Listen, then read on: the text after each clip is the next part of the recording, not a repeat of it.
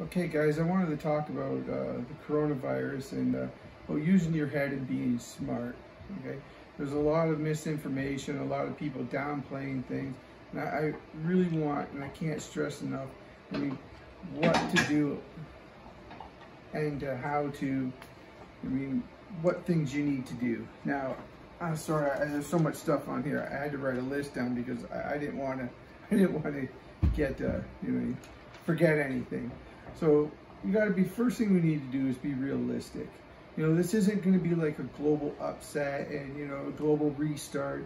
Sure, you know, if things get bad and there's a lockdown, things might slow down, you know, like in the spring you get winds, you know, your hydro might go out because of a tree line falling down on the on the line, it might click it off. That might be the worst case scenario, you know. You, we're still going to have hydro, we're still going to have water. You know, those those things are necessities. They might get down to a skeleton crew, but that's that's about it. They're still going to be operational. Now, as for what to do, I think what the government has said in the first place and what uh, the Red Cross has said is having two months of food on hand. Now, a lot of people don't know where to start with food. People say, you know, they ask me, should I dehydrate my food? Should I dehydrate my vegetables? No, you shouldn't. We're still going to have hydro. So is it a necessity? No. Where I am, it's a little bit more remote. If I do lose hydro, it could be for a couple days or so. So yeah, that's something that I might want to do myself, but not generally you. You won't have to do that.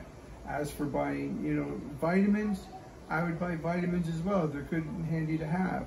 When it comes to when it comes to food, make a week plan. If you have Taco Tuesdays or Pizza Wednesdays or Lasagna Fridays, make a list of what you eat through your week and then just buy, you know, eight times that so that every Tuesday, you know, for the next two months, you can have tacos.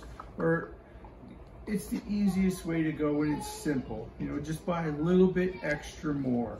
You don't have to go out and just start stripping the shelves of rice and noodles, unless you really like stir fries.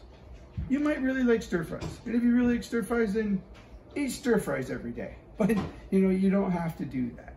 When it comes to using your head, it's the simple things that matter. You know, take some Clorox wipes, keep them in your car. That way when you're filling your gas pump, use the Clorox wipes to hold the gas nozzle.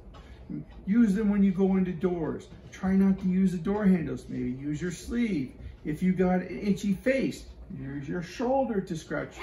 Don't touch your hands to your face. That's the last thing you want to do. Another thing that's really important to do is for your medication. If you need meds to live, get a hold of your doctor. Can Kinley, please go. Get a hold of your doctor. Okay, sweet. Thank you. Get a hold of your doctor.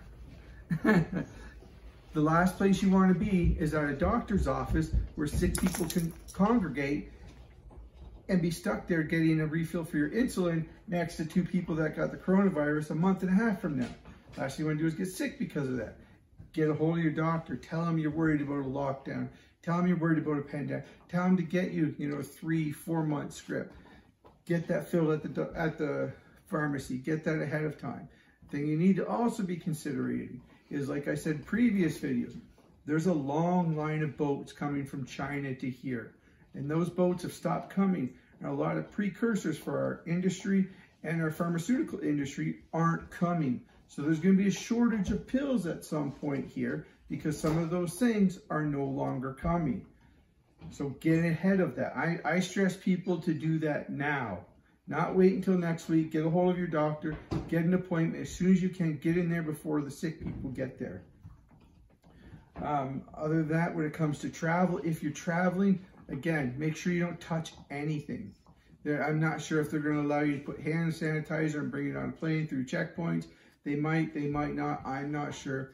But the thing is, just don't touch things with your hands. Use your shoulder, like I said before. It's not something that we need to panic about. You know, you don't have to go out and ask me if, you know, we need seeds to, you know, plant our garden. You know, I like planting a garden. I do it every year. Do you have to do it? No. Is it something that you should do? Sure, if you want to. But it's not going to be life or limb if you don't do it. It, it comes down to this. every nation that is going through this, and we're get we're getting there. We just started.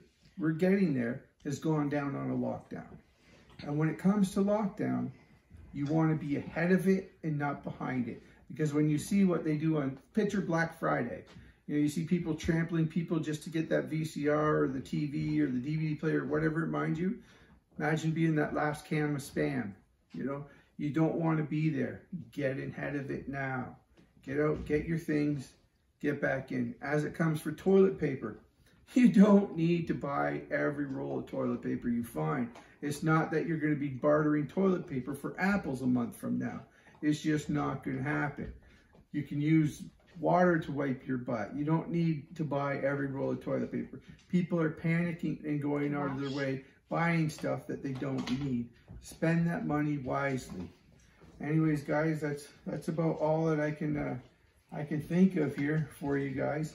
As it comes to the schools closing, expect that if this continues to get worse, I want to read it They- one more time. they- I get to read it. stop. As as schools get worse in this, you might find that school will be closed for the rest of the year.